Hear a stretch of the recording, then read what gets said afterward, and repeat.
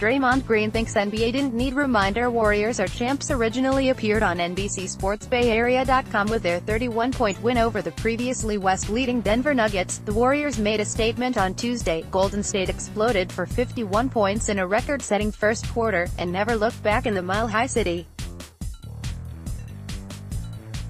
It was a potent reminder of the Warriors' firepower, but not one that Draymond Green thought the NBA needed. Nah, we don't have to remind them.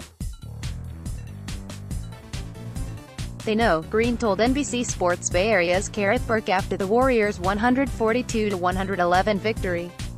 It's been a pretty crazy year for us, but we're starting to figure it out. We're starting to come together and starting to click at the right time.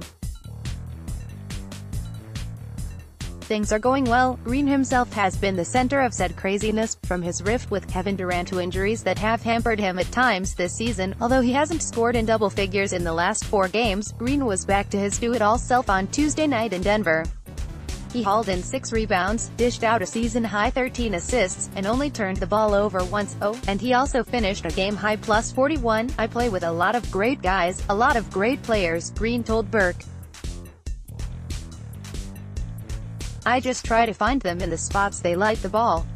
Guys are really shooting the ball well, I've been a playmaker on this team for some years now, that's my job, not that anyone needed a reminder, at least according to Green.